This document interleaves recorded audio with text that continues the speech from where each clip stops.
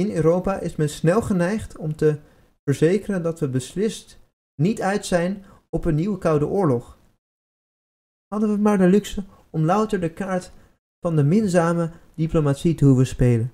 De harde realiteit, lees oorlog, is dat er al een nieuwe Koude Oorlog gaande is. En deze komt uit de koker van Beijing en Moskou. Ik, ehm sorry. Vriendelijke. Wat? Wat dit ook voor zin? Europa kan daar maar beter onder oog zien. De vriendelijke postmoderne wereld waarvan Europa droomde, laat nog even op zich wachten. Wat de fuck is dat dan? Deze postmodernisme is een, is een concept in de filosofie. Wat heeft dat met politiek of met geopolitiek te maken? Deze guy die heeft Jordan Peterson gelezen of zo. Ja, oh my god. Maar eh, in mijn aantekeningen eh, hierbij bij komt uit de koker van Beijing. Ik kon maar één ding opschrijven. Dat is bro. en ik zal je laten zien waarom.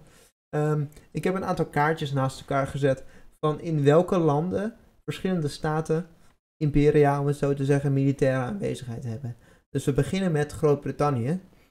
Negeer maar even dat het in het, eh, in het Duits is. Deutsch. Ehm, nou, die hebben een basis in Canada, eh, in IJsland, in Kenia en dit is eh, Sierra Leone, als ik me niet vergis. Eh Golfstaten? Cyprus, Nepal en Afghanistan. Afghanistan, obviously, vanwege de eh, Afghanistan-oorlog. Mhm. Wordt nu natuurlijk afgebouwd, tenminste Sure. geprivatiseerd, andere discussie. Ehm, laten we kijken naar Frankrijk. You. Die, ehm, Hey. Hadden ze daar niet ook allemaal koloniën in Afrika daar? ja, Eh. ook hier in Gabon zit echt sinds de jaren 70 of 80 dezelfde dictator. En zijn ze gewoon dikke vriendjes mee. Mhm. En nou ja, je kan ook wel raden waar de meeste grondstoffen die hier worden ontgonnen naartoe gaan in deze regio. Ehm, dus ja, dit zijn landen waar Frankrijk eh, militaire aanwezigheid heeft. Dan hebben we de Verenigde Huh? Staten. Een land waarvan je de vraag beter kan stellen, waar hebben ze geen militaire aanwezigheid? Ehm, Wel interessant dat op deze kaart Maleisië gewoon twee landen zijn. Dat is wel interessant. oh ja, Dat is raar, wel een beetje raar. Maar maakt niet uit. Sorry. inkleurfoutje.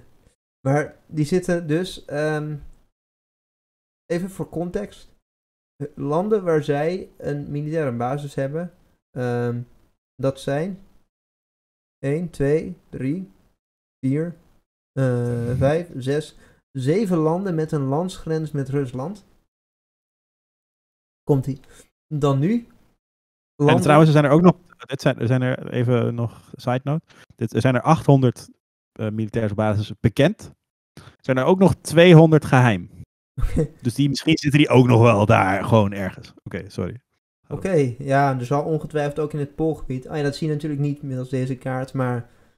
ehm, eh, ja, Rusland is in die zin redelijk omringd. Iran ook. Ik bedoel, wat heeft eh, de, de VS te zoeken in eh Oezbekistan? Turkmenistan? Fuck. Ik moet mijn topografie gaan ophalen. Ehm, Iran. Wat hebben ze te zoeken in Azerbeidzjan? Iran. En hier staat Syrië niet eens ingekleurd, maar de VS bezit een derde van Syrië. Gewoon, of 30% is in handen van de VS. Dus Mm. de, de militaire aanwezigheid is nog meer dan dit. Ehm, gaan we nu naar de, een, van de, eh, Evil guys. een van de veroorzakers van deze Koude Oorlog. Rusland. Hmm. Moldavië, Wit-Rusland, eh, Vietnam, interessant, daar had de VS er ook heen.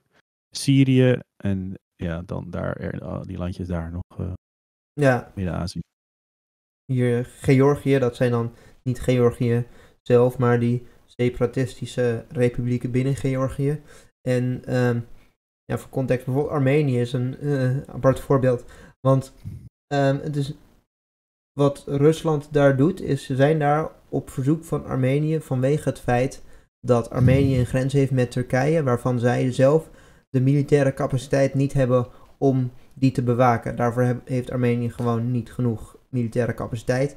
Dus hebben ze gevraagd aan Rusland om dat voor hen te doen. En daarom heeft Rusland basis in Armenië. Ehm, in Syrië, daar zijn ze naartoe gegaan met hun leger. Op het moment dat het erop leek dat IS eh, Damascus ging veroveren. Om zo van, ja, daar zitten we niet op te wachten. Mhm. Ehm, en het verschil is, eh, sowieso, het is veel minder. En het is allemaal in de Ja. regio. Ehm, ja, Vietnam daar gelaten. Vietnam niet, maar inderdaad. ehm, niet dat het per se defensible is. ehm, dat één land militaire basis heeft in een ander land.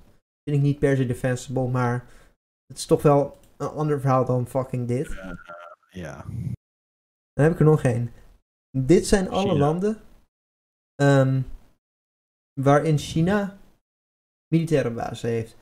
Ik neem aan geen. China ik en ja. Djibouti. Ah, Oké, lachen. Djibouti wel. Ja. Dat, eh, dat is some fucking eh, Koude Oorlog eh, shit right there. Als ik hier China was, als ik deze guy was, ja, dan zou ik sowieso ruzie zoeken met deze guy. ja, dat ben je. Easy. Nou, then again, nukes maken veranderen wel alles, hè. Dat is wel... Heeft eh, ook nieuws. Ja, precies. Maar je, met nukes kan je in, in een hele korte tijd heel veel doen. Je hebt die basissen kan je hebben, maar je kan op bepaalde punten kan je eh, natuurlijk heel veel schade aanrichten. In, eh, gewoon, eh, zonder dat je daar een enorm grondoffensief of weet ik veel wat voor hoeft te beginnen. Ja. Ja, Nukes change the game, though. fair enough. Maar wie... ehm Eén van deze twee kaarten ehm, spreekt uit, iemand wil een mondiaal systeem opleggen. Ja, ja. Je mag ja, raden welke. Eh, China. ja. ja, kijk dan, Djibouti, gek. Nee, dat is al... eh, dit is tekenend. dat hier ook in minstens 42 bu- eh, buitenlandse staten. Ehm, en volgens mij staat die voetnoot. is- die- Er staat dus een voetnoot bij minstens. Dus eh, wat jij inderdaad zei. Ja. Ja, hier inderdaad, eh, het gaat over black sites. Ehm, dus there could be more. There are more, kan ik beter zeggen. Even kijken wat er op zijn Twitter gebeurt. Voormalige Volkskrant sterren. Oh nee, hij heeft bij de Volkskrant gewerkt. De linkse Volkskrant. Hmm. Er is blijkbaar een Volkskrant naar de NAVO-pipeline. Wist ik niet. Leren de ideologische drammers een lesje. Laten we realistisch blijven. Oh my en dat staat dan naast funny tweets. oh, ook gewoon nog in een andere publicatie zit. Ja, strategische autonomie niet doen. Niet zelf nadenken, dat is slecht voor je zelfvertrouwen. Gewoon be a bitch. ja, Hij, hij predicteert, predikt letterlijk gewoon een soort slavernij. Een soort eh, geestelijke slavernij of zo. in de naam van de vrijheid. Ja. Volgens mij had. George Orwell daar iets over te zeggen. Eh, Jesus Christ. Laten we het met deze prachtige uitspraak, die nog een non-sequitur is, afsluiten. De coronacrisis is voor velen voorbij. Voor het eerst weer met de trein. Waarom? Oké. Nog nooit zoveel mondkapjes op de kin gezien. Of mensen zonder mondkapje op station. Oh. Deze guy is ook gewoon voor het eerst sinds de coronacrisis weer met de trein aan het gaan. Dat zegt ook wel wat. Hè. ja, Maar als je een auto hebt, dan ga je nooit met de trein natuurlijk. Dat is ook wel waar. de Deze guy chauffeur. wel, nee, Cuperus heeft wel een auto. Dat denk ik wel. ja, ik denk het ook wel. Dikke auto wel, denk ik.